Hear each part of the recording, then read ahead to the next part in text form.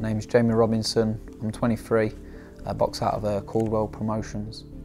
Uh, when I was six year old, I, I come downstairs and I had a big fuss about three o'clock in the morning and Mike Tyson, I think it was Julius Francis or something like that fight. And I remember boxer, watching a boxer called Paul Ingle and he had camouflage shorts and that was my first ever memory and I was about, about four or five, something like that. I turned to my dad, watched the boxing and I said, I want to do it. And I had a bit of, I had a bit of bother at school because of my hair colour.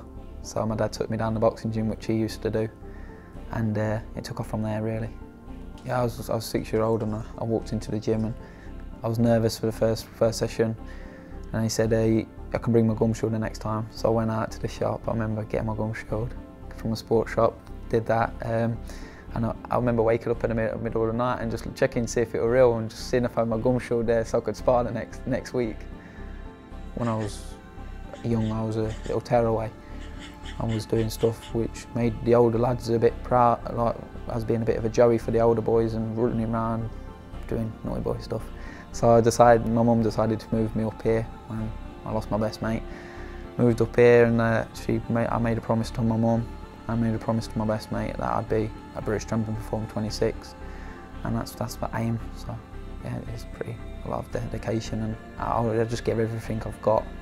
I wake up every, every morning, it's just on my mind. I'll, I go to sleep thinking about boxing.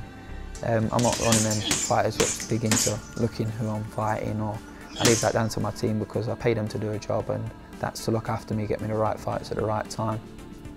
I really, I really like to have a tear up, I like a proper toe to toe when the crowd gets behind me. I like to grit my teeth and just get stuck in, but my trainer, my trainer likes me to box, so I, I try and keep my my head calm and just keep keep to my boxing, which I, which I'm good at. Um, but it's just I, I, sometimes get dragged into a fight, which is quite entertaining for the paying customers, but it can be pretty dangerous because anybody can fight, but not everybody can box. I'm very busy. I throw about 100 to 150 punches around. Um, they can keep you one, one or two rounds, and then after that, it's they, they, they sort of fade off. But because I've got a good, good, very good stamina and a good engine, I keep going and going and going, and I'm a very good body puncher. My last fight was in March, and I, I got I, knocked someone out in 64 seconds with a body shot and just the response I've had for this next fight because everybody likes a winner and everybody likes to see a knockout and hopefully I can get another knockout for my fans. It's on Friday the 15th of May at ICE Sheffield. Uh, I boxed there before, I had, a, I had a bad decision there but I'm hoping to clear the demons and come back with a nice win like my last fight. Just, just, be, just be ready for an exciting toe-to-toe -to -toe fight and it's just going to be fast, explosive.